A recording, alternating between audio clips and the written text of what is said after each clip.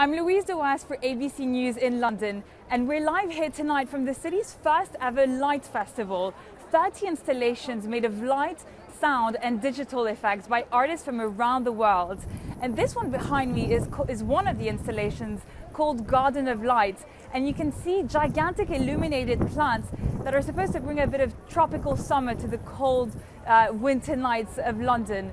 The event is free and it's here for four nights and we're going to go inside and give you a little tour, show you what it's like.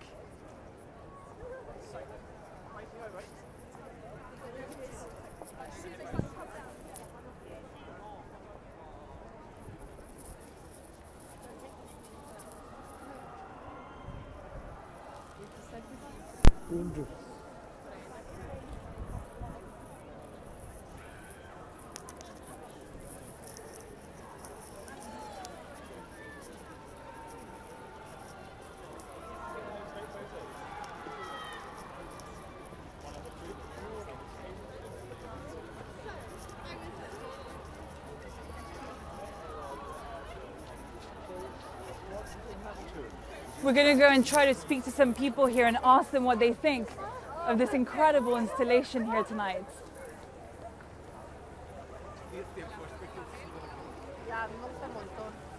What do you feel when you walk in here? Yeah, definitely. Yeah, I agree. yeah, it feels like the spring is coming slowly, but really slowly. yeah, slowly. It's quite, freezing today. It is. Well. It is very cold here tonight. Thank you so much, and enjoy your evening. So these types of events and festivals already exist in other cities like Sydney, Berlin, but it's the first time that it's happening here in London. And what's interesting is that January is usually a very quiet time of the year in terms of events. Um, but it's also a great opportunity for the city to encourage people to get out and explore the city by foot. There are lots of people here tonight who are enjoying clearly um, the installation.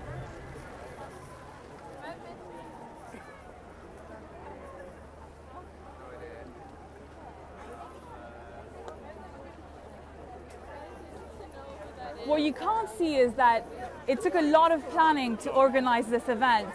Uh, street lights have been shut down, tube stations are closed down, and it really took a lot to, to get this all together here. And the cool thing is that it's happening in iconic places of London.